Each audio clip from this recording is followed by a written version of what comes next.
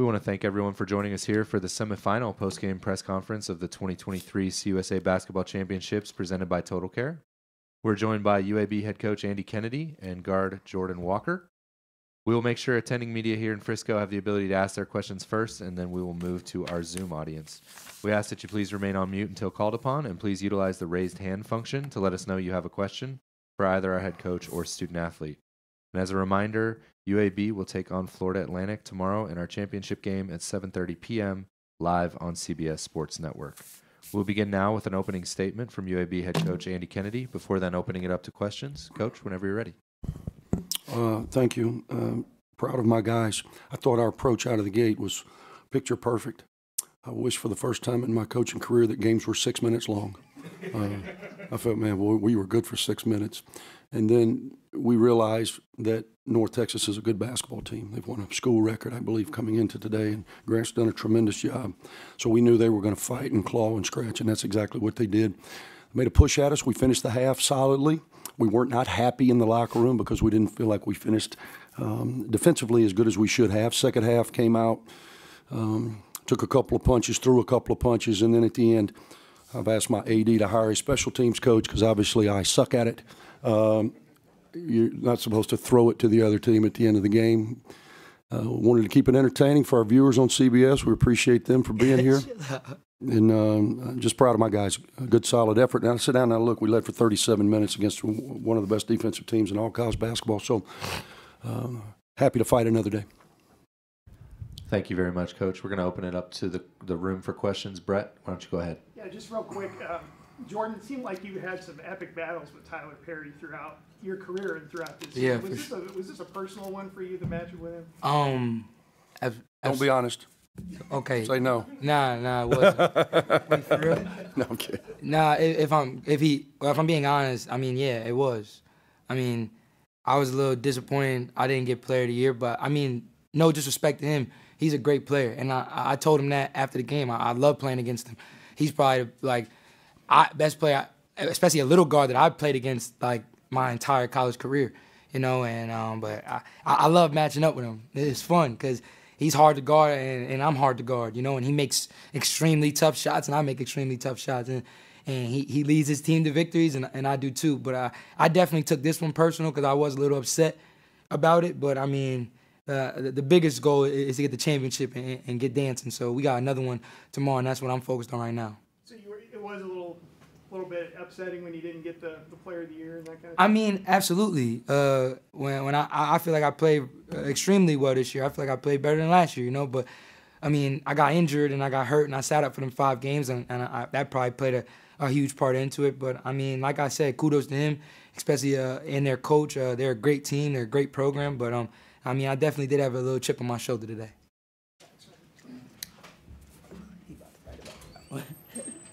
Got his headline.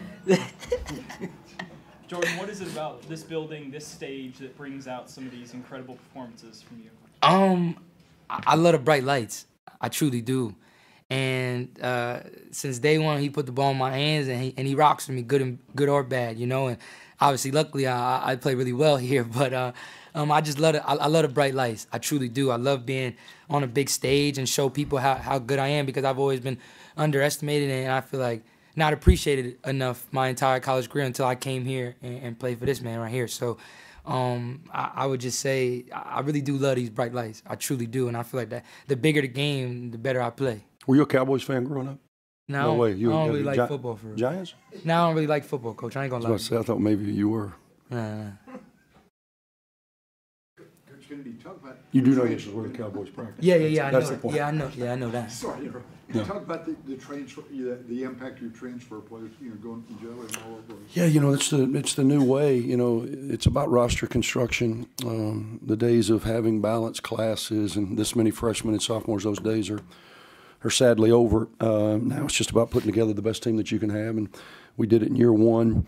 Uh, the guy, the only guy that's left uh, of that class from the transfer portal is Trey Jemison, our big kid, who's been terrific for us.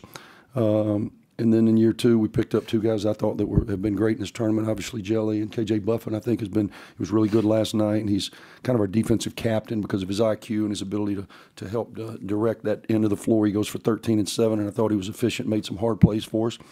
And then you know this year we we've dipped back in there and we've gotten contributions from a number of different guys. It's just it's the way of college basketball today, and it's the way that we'll continue to trend. Coach, like you mentioned, you know, punches going both ways in this game. How did you keep your, you know, team's composure throughout the game and, and uh, keep them together to the end? I know this is going to be crazy, but uh, I've been doing this a long time, and typically when you get off to such a great start, there's going to be a little bit of a letdown. And, and we felt it. Now, we had such a tremendous start. I don't know what it was, but we were up 20 points maybe at one time. Just incredible out of the gate. That's unrealistic to think we're going to continue to do that for 40 minutes. And there was a little bit of letdown. Good teams make plays. We, we've got good players who make plays, and they've got good players who make plays. Then in the second half, I thought we were in complete control, and then we just kind of got unglued at the end, uh, but made the plays that we needed to play.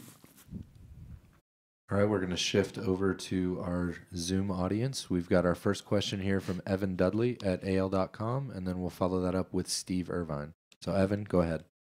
Uh, first, Andy, uh, obviously Jelly had a great game, but uh, you know, you look at just at the end, you know, just how uh, you know it's kind of poetic that you know Tavin Lovan goes in there and scores those uh, last five, six points. You know, especially that dunk. You know, Jelly starts off out of that timeout with that big three, and then kind of Lovan games carried her home.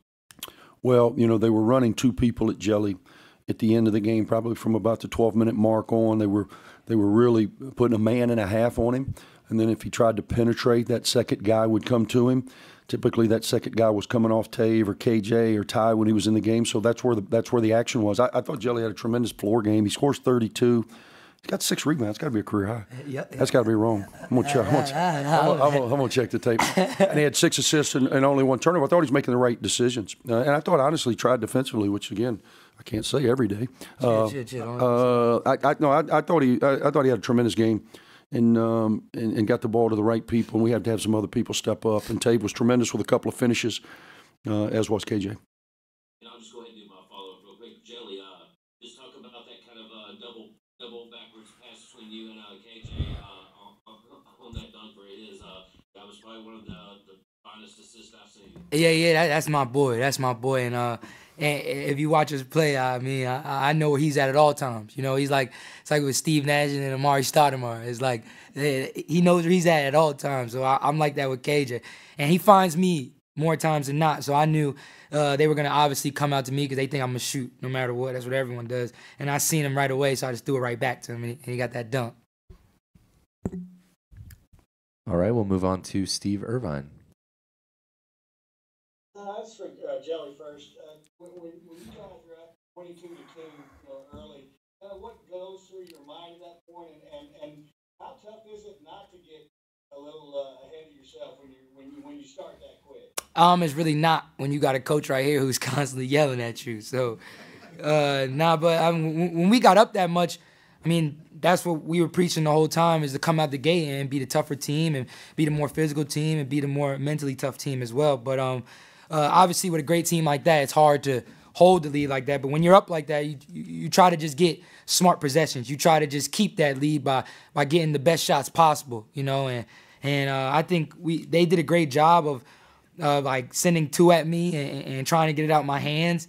Um, but like I said, like he said, um, definitely my teammates stepped up tonight, and uh, it definitely showed that we're more than just me. And people constantly talk about jelly, jelly this, jelly that, but it, it, this team is way bigger than me, way bigger than me. And we have a lot of pieces on this team that are capable of, of, of taking over a game at any moment, and, and you've seen that tonight. And you, Andy, when, when you play these guys, and y'all both have talked about playing physical today, but how, how important, or, or I guess how vital is it that you match them physically uh, when you play these guys? Yeah, I think I've said this before, Steve, and I've told Grant this to his face. I think they're the most disciplined team in our league. I think they know who they are and they stay um, within um, their their formula, and they've been very very successful, and that's obvious. So we knew that we had to come out and and op- we call it operating right, doing things fundamentally sound. We practice it every day. You got to trust the work. Try to create good habits, and I thought we were terrific uh, in the first half. They they we established an offensive rhythm early with movement, with cutting, with making shots.